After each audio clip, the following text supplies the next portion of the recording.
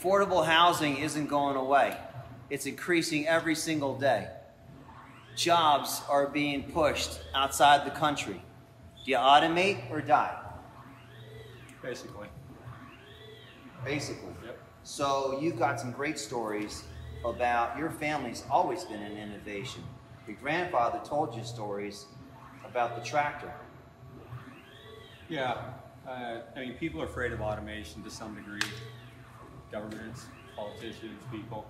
My grandfather was younger. He remembers that guys were going to the tractors and popping the tires, and they're pulling all the wires off, and they're trying to do anything because they're afraid of a machine that could do the work of 50 people. Okay. As it turns out, those guys still have their jobs. Those guys had jobs.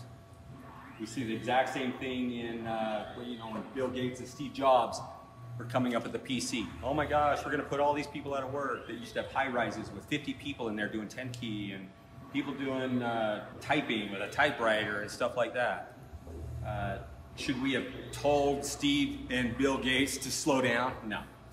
Uh, it made everybody way more efficient. Automation in robotics is the same way. I mean, these are beautiful machines. Uh, for less than what you pay in labor in uh, 12 months, you can automate almost any labor position. The old days of typing out 10 key and how to keep them running and got to have an electrical engineer standing around and all this other stuff is ridiculous. These things, they teach themselves. I drag the head wherever I want it, record, record, record, record, run. It's that easy. This, this isn't the 1940s or 50s anymore. And so, uh, automation makes our lives better. It makes us way more efficient. And that's what USA Robotics is all about. But, uh, and that's what our concrete printers are about. That's what they do.